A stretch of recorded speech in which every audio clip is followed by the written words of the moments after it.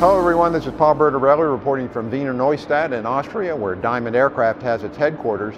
You know, here at Diamond, Michael Feinig, who's the director here, likes to say that it's not one thing, but one knot. And that's the idea behind this new model of the DA42, which is called the V1. What Diamond has done here is a lot of small drag improvements, including some uh, considerable improvements in the engine cowling to improve the performance of this airplane. Now here's uh, Ingmar Mayerbuch to tell us about some of the specifics and then we'll take a flight demo in the airplane. Uh, with the V1 version of the 42 we have two major improvements I would uh, say. And one is the, the drag reduction which gives more speed, uh, better performance in general. And the other thing is the redesign of the vertical tail including the rudder.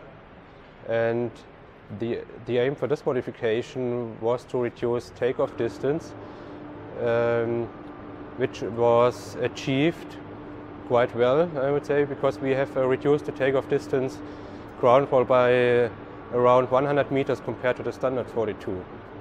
And uh, I say that the measure to achieve it was to, was to reduce the minimum control speed of this airplane by, by in total eight knots. Uh, one big part of the drag reduction uh, program was to reduce the cooling drag of the engines.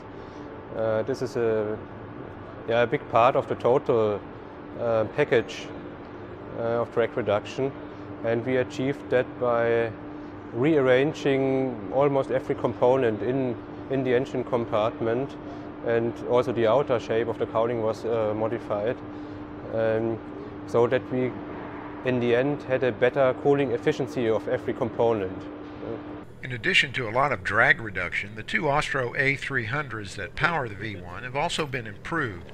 They have higher altitude and RPM limits than the previous engines did, and this translates to better performance. On our brief test flight on a blustery Austrian day, we recorded 1,300 feet per minute in initial climb on a turbulent day.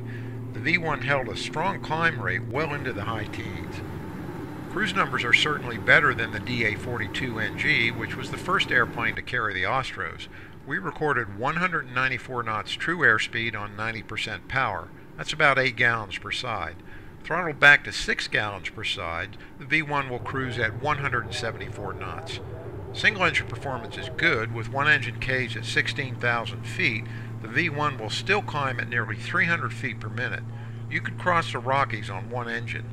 The V1 was expected to be certified in early April and is on display at Aero in Friedrichshafen. Find a full report on the airplane in the May issue of Aviation Consumer Magazine at aviationconsumer.com. I'm Paul Bertorelli reporting. Thanks for watching.